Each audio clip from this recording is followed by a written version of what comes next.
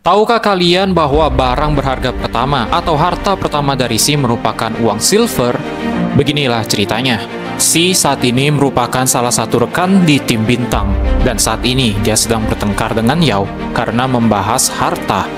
Yao berkata, semua barang yang kau miliki adalah pemberian, bukan? Kau tidak memiliki harta, bukan? Dan itu membuat Si marah, dan lalu Si pun berkata, dia memilikinya. Si merupakan seorang gadis miskin tanpa keluarga.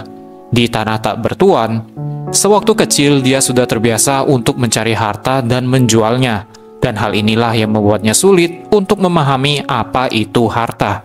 Suatu hari, Si menemukan sebuah boneka. Tiba-tiba saja ada beberapa pria yang mendatanginya dan menawari Si untuk menjual boneka itu.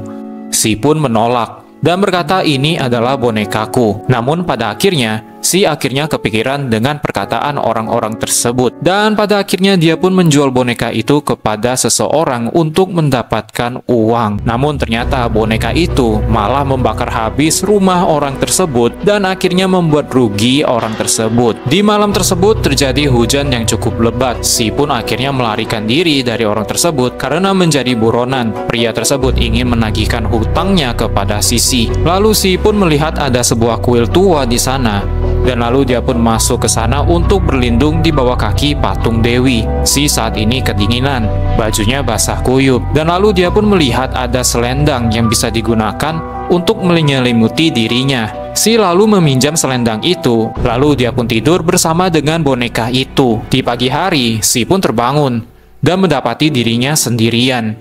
Dia hanya mendapati sebuah uang silver di sana dan uang itu tidak pernah dia pakai dan menjadi hartanya.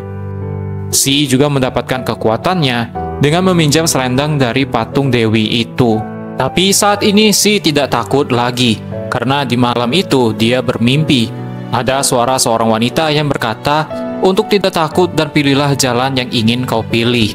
Dan benar saja, saat Si sedang dikejar-kejar oleh penagih hutang, tiba-tiba saja ada Chuangzi yang datang dia melindungi Si dan membawanya ke Akademi Jisya.